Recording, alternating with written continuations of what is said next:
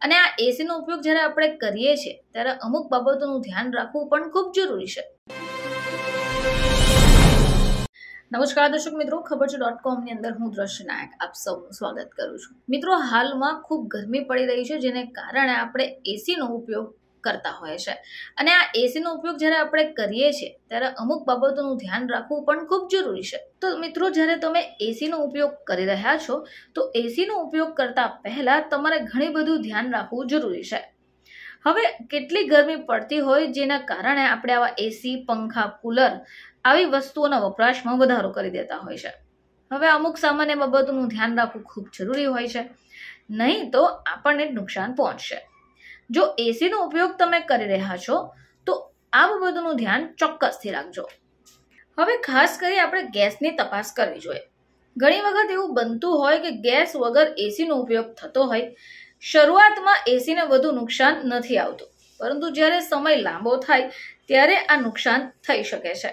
સમયાંતરે જો તમે સર્વિસ ન કરાવો, તો એસીમાં ધડાકા સાથે નુકસાન પણ થઈ શકે છે. ચલો જાણીએ કે કુલિંગ કોથલને કઈ રીતે આપણે સાફ રાખવું જોઈએ. તો શરૂઆતના સમયમાં એસીની ફૂલ સર્વિસ કરાવવી જ યોગ્ય હોય.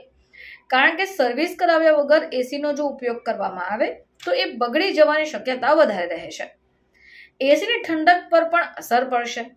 હવે આ જ કારણ છે કે સર્વિસ સાથે એસીનું કમ્પ્રેસર પણ ચેકિંગ કરાવી લેવું જોઈએ.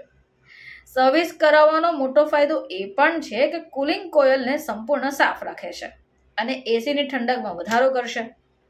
હવે જ્યારે એસીમાં કુલિંગ કોયલની આગળને ભાગે એર ફિલ્ટર લગાવવામાં આવે, આ જ પરિસ્થિતિ છે કે એર ફિલ્ટરને પણ સાફ રાખવું જરૂરી છે. સ્વચ્છ ફિલ્ટર રાખવાથી એસીની ઠંડક તો વધશે જ અને સાથે સમયાંતરે એસી ઉપર ખર્ચા કરવાની જરૂર પણ નથી રહેતી. એસીનું ફિલ્ટર જો સાફ કરવામાં આવે, તો એસી ભાગ્યે જ ખરાબ થઈ શકે છે. એસીનું ફિલ્ટર સમયાંતરે સાફ સફાઈ કરવી ખૂબ જરૂરી છે. તો દર્શક મિત્રો, જો તમે પણ એસીનો ઉપયોગ કરતા હો, તો તમારે પણ આ બધી પરિસ્થિતિનું ધ્યાન રાખવું જરૂરી છે. એસીમાં સર્વિસ, સાફ સફાઈ અને કમ્પ્રેસર ચેક કરતા જ રહેવું જોઈએ. જો સમય સમય પર આપણે આવું નથી કરતા, તો એસીમાં ધડાકા થઈ શકે છે અને ભારે નુકસાન પણ થઈ શકે છે. એટલે ઉનાળામાં તો આવી ભૂલ ક્યારેય ન કરવી જોઈએ. ફરીથી તમારી સમક્ષ હાજર થઈશું. ત્યાં સુધી જોતા રહેજો. ખબર છે ડોટ કોમ